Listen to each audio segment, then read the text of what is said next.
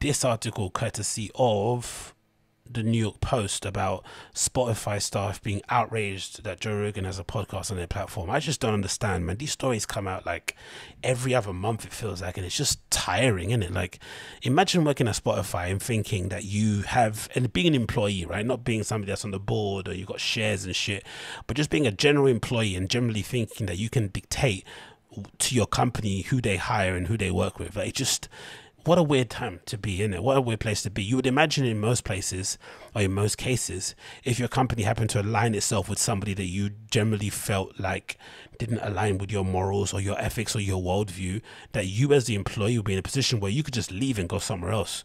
You wouldn't be in a position to like lobby or protest your own company. It just seems bizarre, doesn't it? It doesn't seem like you're operating from a real position of strength because more often, more likely than not, they can find somebody else to replace you who just is ambivalent to Rogan in general and just doesn't give a shit. Um, but anyway, we continue.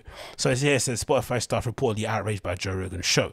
So this leg is a text says the following. It said Joe Rogan, the notoriously uh, polarizing. Let's get this little thing out of the way because I hate it. Notoriously polarizing host of the Joe Rogan Experience, America's most popular podcast 2020, It's upsetting some Spotify staffers, according to a report. Employee complaints, however, fall on the deaf ears of company executives who paid the 53 year old comedian more than 100 million um, to secure his stream of the platform. Allegedly, from everything talking about the money thing, that's mad that as well, because he's that's one talent that people don't really give Joe too much credit for. Because there are some points where he does seem a bit detached from reality, and he's not really aware of what goes on in the normal world. But for somebody that's as wealthy as him, he does come across the most normal I've seen of anybody that's rich as this guy because from what we've heard through the grapevine through people being chatty patties, supposedly the deal is worth way more than a hundred million right? It's way it's worth a, a, lot more, and he was just happy with that news being put out there because he doesn't really care about you know looking like the Billy Big Balls in the press. So it's far more than hundred million. And imagine, right? And I'd imagine he's got some sort of guaranteed amount that got deposited to his account and whatnot, and the amount that the podcast makes in general outside of sponsors and stuff that he makes on the AdSense alone with the Clips channel, like just just insane amounts, right? That just come through on that uh, into this guy's account, and he seems to be fairly normal, right? He seemed to be fairly cool, fairly well balanced and stuff. And again, I, I kind of go back to this point here at the top here, notoriously polarizing. I was like, can you be polarizing and be the number one person or number one show in your you know in your field is that possible i don't think it is i don't like i think generally most people think his show is good which is why a lot of people listen to it and which is why he commanded the amount he's able to come from spotify i don't think you can be super polarizing and be super popular. It doesn't work that way. You can be popular in a niche and be polarizing, but not generally. Because people that listen to Joe Rogan podcasts are far reaching, right? I listen to it, I've been listening to it for years, but I'm sure there are people from all walks of life that listen to it for the guest or for the show or whatever, or just to unwind. So I'm not really, anyway, we'll continue.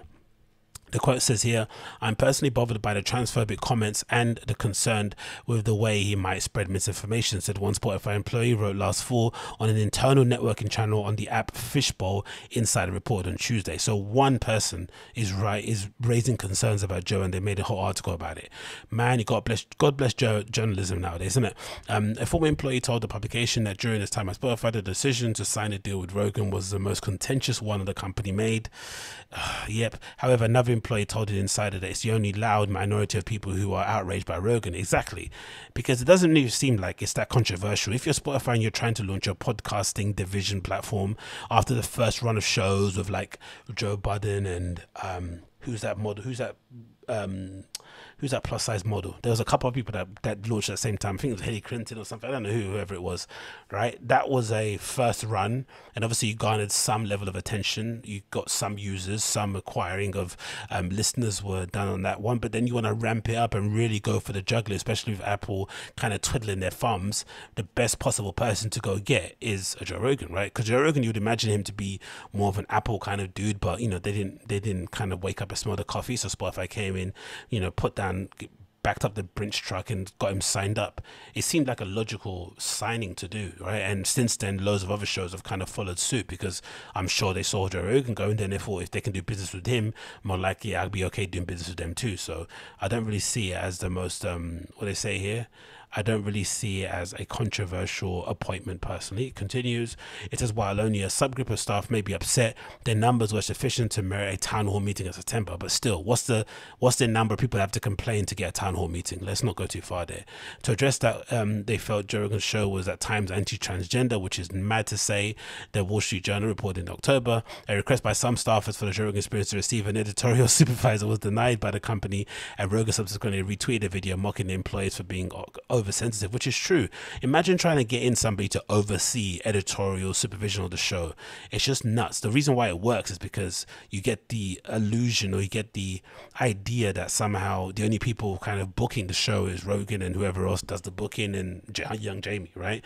There's not like a hundred million staff attached to the show. That's what kind of makes it such a good thing to listen to because it's generally a conversation between one guy who's really curious about whoever the guest wants to talk about and another person who wants to talk about something or promote a product they're selling or a book or whatnot. So you get some really interesting, far ranging conversation, especially when it's kind of open format, three hour conversation, sitting down, no distractions and stuff. Like it's that's what makes it special. Having somebody overseeing it in an editorial sense is just going to shit it up. And the one thing that you know is a perfect recipe for messing up something that's good is getting more people to add on to it. Like that's the quintessential way. A writer's room, whenever you start adding more writers, more producers, more handlers, immediately the thing that you're trying to do goes to complete shit.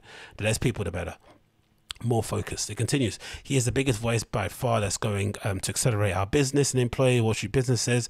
Um, Wall Journal said to them, getting him at Spotify and soon exclusively is going to help to bring a lot more audience onto the platform and hopefully we can spread that to other programming. Yeah, imagine because as much money as they gave Joe Rogan, I'd imagine I would like to know how much is an acquisition prior to Joe Rogan joining, right? So maybe they they've actually the ones that have actually made the killer deal because they've basically been able to acquire users at a far less cost than they did prior because they've got Rogan on the platform, right? A lot of people probably signed up to Spotify simply to listen to the show. But the funny thing is with Spotify, because they're, you know, a pretty shitty company, you pay your flipping Spotify monthly fee and you still get ads that play on the flipping stream when this is JRE. It's not that annoying because they're only like 30 seconds. You don't have to wait too long to, for them to pass on by. But you'd imagine paying for Spotify premium that part of the premium experience would be that you don't have to listen to ads but you know, whatever.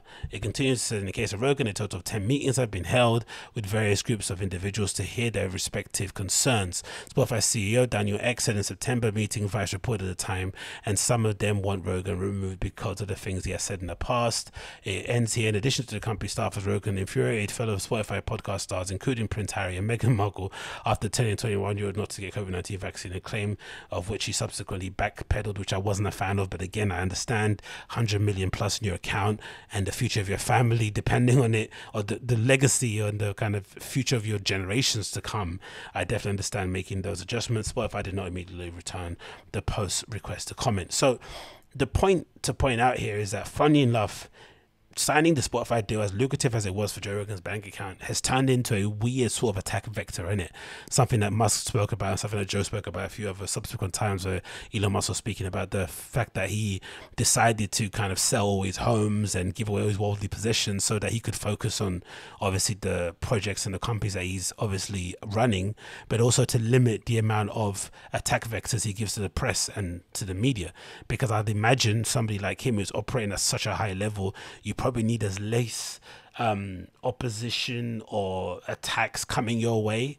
Even though he spends too much time on Twitter and social media and he seems like a bit of a fame whore, he still doesn't need to have people out there constantly writing hit pieces out about him, trying to tear him down because he decided to go on a boat or because he bought a new Rolls Royce or because he's got this weird mansion in the middle of a forest, he doesn't need that extra hassle. So he decided to strip himself of all those other possessions, focus on his family and obviously on his businesses and, you know, um, Dogecoin and whatnot. And it limits the amount of tax, but still, he's probably one of the most high profile billionaires, obviously, in the world. And he's probably somebody that a lot of people generally don't have a lot of time for. So it didn't really help too far, but you can only imagine what it would have been like if he would have been like a standard billionaire that gets helicopters and private jets everywhere and is, you know, going to flipping Ibiza. It would have been insane. So Joe Rogan signing his Spotify deal as kind of low key and as cool as he is, and generally, like I said, for somebody as wealthy as he is, he seems to be the most normal of people that I've kind of noticed with money. That he doesn't necessarily even talk about it too much.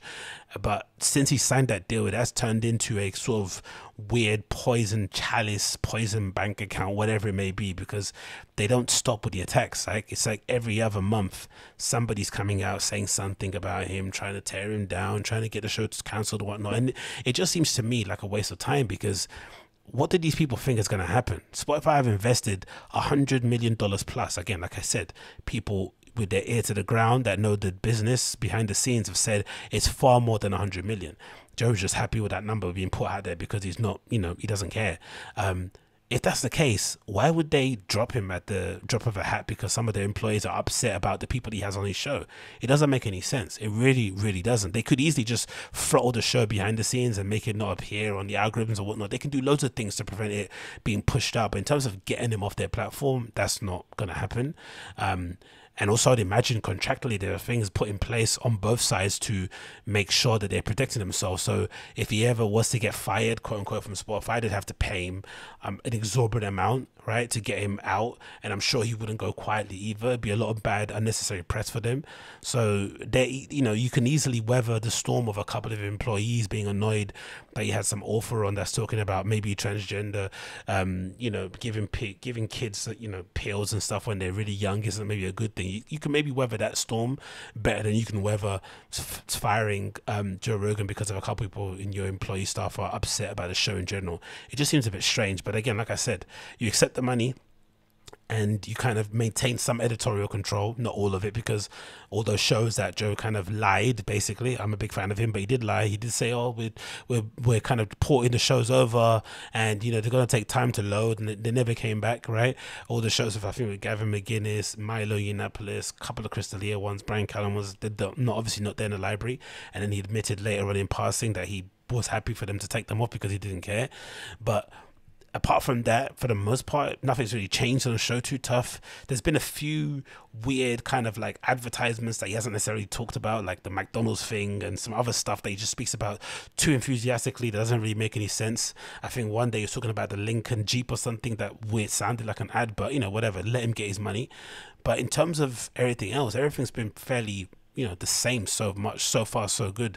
But I think one of the costs of signing such a deal and taking the money from such a big company is the fact that you're going to always be the kind of target of some people um, when it comes to cancellations and whatnot. And again, I think he's uncancelable in general because I think the whole point of being uncancelable is for mass wealth, which basically allows you not to be run by these organizations that you're signed to. And if you decide to let you go, then you can continue going doing your show as per normal. But um, yeah, I think these Spotify staff are wasting their time. They should probably focus on just you know, maybe move into a company that they feel better aligns with their politics or their morals or their ethics. It doesn't make any sense, you know, picketing your own company you work at because a show on there that you don't like. It's just so bizarre. It really, really is the strangest thing. I never really understood that. Like maybe people are too attached to their jobs and feel like they can't get another good one. But if you generally think the company you're working at is going against everything you stand for, just leave. Like honestly, just leave. Trying to get Joe Rogan sacked, it seems like the most the biggest waste of time I've ever seen in history of waste of times. But you know, again, what do I know?